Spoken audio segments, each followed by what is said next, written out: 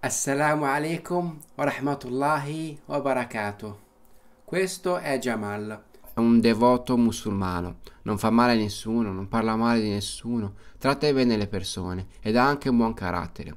Fa le sue preghiere in tempi giusti, anche quelle non obbligatorie, fa anche digiuno, dà molta beneficenza e non è avaro. Legge il Corano e impara e insegna la conoscenza. Tramite lui molta gente ha trovato la guida. Tutta la gente parla molto bene di lui e delle sue qualità. Gli angeli gli hanno scritto nel, nel suo registro tantissime buone opere. Si presenta così nel giorno del giudizio. Domanda: dove va? Va all'inferno o al paradiso? La risposta è che va all'inferno. Siete stupiti, vero? E vi dirò che anche gli angeli sono stupiti, tanto quanto voi. Quindi guarda il video fino alla fine per capire il perché.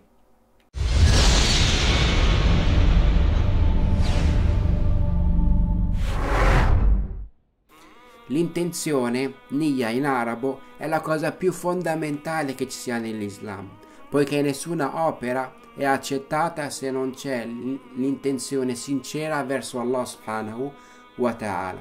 Disse il messaggero sallallahu alaihi wasallam, Allah non accetta alcuna azione se non quelle azioni sincere con cui si ricerca il suo volto.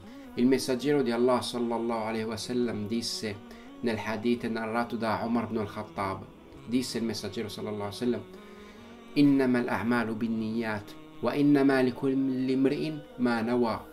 فمن كانت هجرته إلى الله ورسوله فهجرته إلى الله ورسوله ومن كانت هجرته لدنيا يصيبها أو امرأة ينكحها فهجرته إلى ما هاجر إليه Questo hadith mette in chiaro il concetto che senza l'intenzione nessuna opera o azione ha valore per Allah subhanahu wa ta'ala. L'imam come al-Bukhari oppure al-Nawawi nelle loro raccolte di hadith hanno piazzato questo detto, il detto del profeta sallallahu alaihi wasallam delle azioni che valgono secondo le intenzioni come il primo. Questo dovrebbe farci riflettere su quanto sia importante questo hadith, se questi sapienti hanno deciso di metterlo come primo della raccolta. Il problema quindi che aveva Jamal, ritornando al video dell'introduzione, è l'intenzione che non era sincera verso Allah subhanahu wa ta'ala, bensì egli compiva le buone opere per ricevere le lodi e gli apprezzamenti della gente. Guardiamo un altro esempio. Jamal sta facendo la preghiera. Sentendo però che stanno entrando delle persone, decide di prolungare il tempo nella preghiera affinché vedano quanto lui è devoto. Jamal sta commettendo il politeismo minore. Dice Allah subhanahu wa ta'ala, eppure non ricevettero altro comando che di adorare Allah, tributandogli un culto esclusivo e sincero di eseguire l'orazione e di versare la decima. Questa è la religione della verità. Il profeta narra che Allah, gloria a lui l'Altissimo, disse أنا أغنى الشركاء عن الشرك فمن عمل عملا أشرك فيه معي غيري تركته وشركه Subhanallah, questo hadith ogni volta che si sente vengono i brividi. ma il prossimo che andremo a vedere è forse ancora più forte. Infatti perché venne chiesto ad Abi Huraira radiallahu anhu di raccontare un hadith sentito dal messaggero di Allah sallallahu alaihi wasallam. Abi Huraira appena stava per raccontare il hadith svenne e hanno dovuto reggerlo per non cadere. Abu Huraira quando si riprese riprovò di nuovo a pronunciarlo ma svenne nuovamente. Ancora una volta dopo che si è, eh, che si è risvegliato, ha provato a, a pronunciarlo, ma svenne nuovamente, soltanto dopo la terza volta riuscì a raccontarlo. Guardate quanto i Sahaba erano coinvolti nelle parole del messaggero di Allah sallallahu alaihi wasallam. Quindi se non ce l'ha fatta Abi Huraira radiallahu anhu, pensate noi ma noi lo raccontiamo per dovere di trasmettere l'informazione. Il hadith racconta così. Nel giorno del giudizio, Allah subhanahu wa ta'ala inizia con tre persone nella umma musulmana a cui chiederà conto. Chiederà conto al lettore del Corano, uno che combatteva sulla via di Allah e uno che donava dei suoi beni. Verrà chiesto al primo, cosa hai fatto nella vita? Risponderà, oh mio Signore, ho letto il Corano nelle ore della notte e nelle ore del giorno e l'ho fatto per te, oh mio Signore. Allah risponde, falso, hai letto il Corano affinché dicessero lettore ed è stato detto. Al secondo, cosa hai fatto nella vita? Oh mio Signore, ho combattuto sulla tua via finché non sono stato abbattuto. Falso, hai combattuto affinché dicessero coraggioso ed è stato detto. Al terzo, cosa hai fatto nella vita? Oh mio Signore, ho donato quello che avevo per te. Falso, hai donato affinché dicessero generoso ed è stato detto. E disse il messaggero di Allah sallallahu alaihi ad Abi Huraira che questi tre sono i primi ad essere combustibili per l'inferno.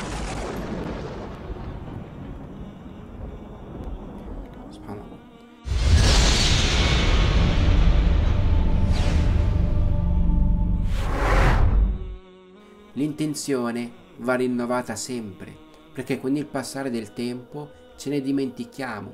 Ad ogni azione dobbiamo tenere presente l'intenzione, altrimenti la preghiera le adorazioni diventeranno una mera abitudine, un, una routine soprattutto ora che si avvicina il mese di Ramadan, se non teniamo presente l'intenzione con cui lo affrontiamo, rischiamo che alla fine del mese abbiamo soltanto accumulato fame e sete senza alcun beneficio spirituale e sarebbe una grandissima sconfitta, una grandissima perdita. Noi siamo ricompensati per evitare di cadere nel haram, ma se non lo facciamo per Allah e non ne teniamo conto, non abbiamo alcuna ricompensa e per le cose mubah, che sono la maggior parte delle cose della nostra vita, tipo mangiare, dormire, camminare, eccetera, se noi lo facciamo con l'intenzione di diventare più forti per l'adorazione, siamo ricompensati.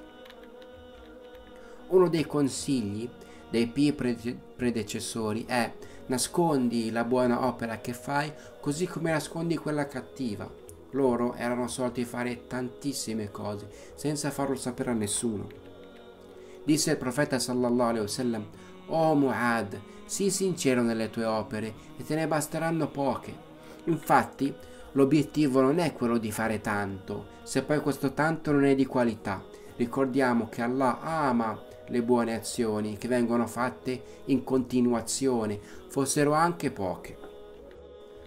Narra il Bukhari che Yazid aveva lasciato delle monete in elemosina ad un uomo che era in moschea affinché le desse a qualcuno che ne aveva bisogno. Suo figlio Man le prese e andò, le prese dall'uomo e andò da suo padre Yazid, il quale gli disse: Per Allah, non volevo che queste monete finissero a te. E presero entrambi a disputare finché non sono giunti davanti al messaggero di Allah sallallahu alaihi wasallam, il quale disse: Avrai quello di cui hai avuto intenzione, o Yazid, ed è tuo ciò che hai preso, o Ma'an. La kamana waita ya Yazid, wa laka ma'akhatta ya Ma'an. Se noi abbiamo l'intenzione di fare un'opera buona, ma per un impedimento non riusciamo a farla, Allah, gloria a Lui l'Altissimo, ci darà ugualmente ricompensa, come se l'avessimo fatta, a patto che l'intenzione sia sincera. Quante persone oggi fanno tante grandi opere, cui però manca l'intenzione sincera verso Allah subhanahu wa ta'ala. Un uomo a Mecca era solito nutrire i poveri, onorare gli ospiti e accoglieva con cibo e acqua i pellegrini della sacra moschea. A Aisha radiallahu anha chiese al messaggero di Allah circa quest'uomo. Rispose il messaggero, in verità egli non disse mai, oh Allah, perdona il mio peccato nel giorno del giudizio.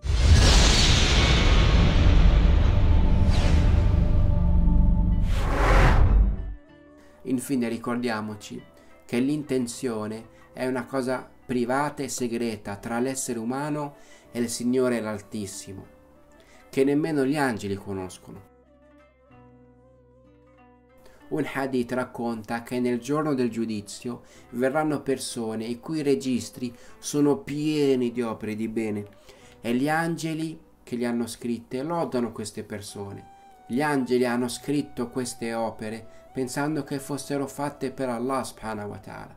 Allora Allah interviene, gloria a Lui l'Altissimo e Lui è molto più sapiente dei Suoi angeli, dicendo agli uomini, con questo tu hai voluto questo e quest'altro, e tu con questo hai voluto questo e quest'altro. E gli angeli allora si stupiscono e dicono che tu sia allontanato, è per altri all'infuori di Allah che operavi. È per altri all'infuori di Allah che operavi. Per cui, cari fratelli, care sorelle, ad ogni azione che stiamo per fare ricordiamoci del hadith, innamal a'malu bin niyat alle azioni valgono secondo le intenzioni.